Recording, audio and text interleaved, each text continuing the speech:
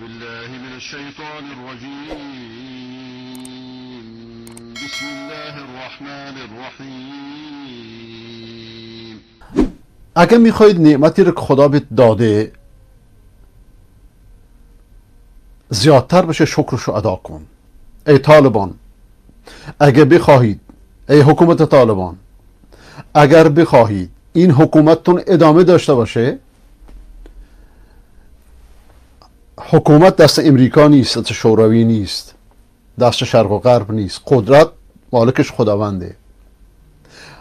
بدونید که این جمله رو بشنوید. بدونید که با من کردن کتب ابن تیمیه و, و, و امثالش ببخشید این جمله رو به کار قبر خودتون رو به دست خودتون می‌کنید. شکر نعمت رو اینجوری ادا نکنید. نظام فاشیستی بشار اسد در تمام مدت پدرش کتاب کتاب ابن تیمیه آزاد بود. تا اینکه مرکز فرهنگ ایران اومده بهشون یاد داد در سال 80 اخیرا در ده 15 سال اخیر من ممنوعش کردن. و هرچه ممنوع کنید محبوب تر میشه. این اشتباهات رو تکرار نکنید. اشتباهات رژیم ایران رو تکرار نکنید. خامنه ملعون در سال 92 اومد نمایشگاه کتاب. کتاب ابن رو از اون لحظه ممنوع کرد. از سال 92 به بعد هرچه که ابن تیمیه نوشته برکه ابن تیمیه محفشاند نور و سگ او او کند هر کسی با تینت خود میتند. چنان انصاف معتدل و منصفی است که حتی فضل الله لبنانی میگه که اگر کسی کتاب امتیمی رو جلداشو برداره جلدش راجب بیت که بخونه فکر می‌کنه ایشون شیعه. مثلا عرض می‌کنم. حاشا و کلا. و با ممنوع با تنگ نظری هیچ حکومتی جلو نمیره. اشتباه ای طالبان اشتباهات رژیم پلید ایران رو تکرار نکنید.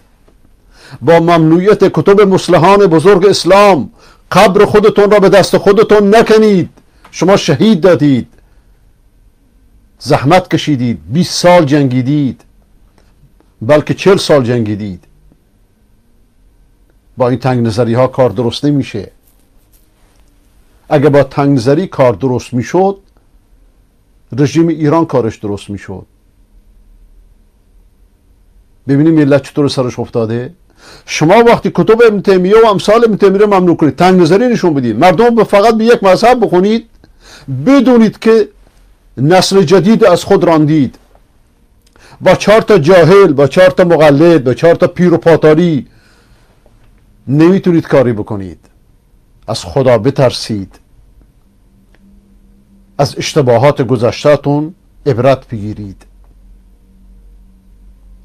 اگه بخواهید نعمتهای خداوند براتون افزون بشه اون نعمت ها شکرش ادا کنید. ادای شکر اینه که فرهنگ اسلامی فقه اسلامی یک فقه نیست. حداقلش چاره الان هفت هشت مذهب موجوده. آخه من نمی‌دونم اینو چطوری تعبیر کنم که به اهانت تبدیل نشه. شیعه آزاد امتیمی ممنوع باشه؟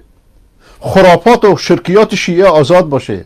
خرافات و شرکیات سیفی ها آزاد باشه. رادمردی ستاره ای قهرمانی چون ابن و مدرسه اصلاحی ابن ممنوع باشه. این جز امریکا کی رو راضی می‌کنه؟ این جز ایران کی رو راضی می‌کنه؟ این جز مشتی خرافی و مشرک کی رو راضی می‌کنه؟ از خدا بترسید.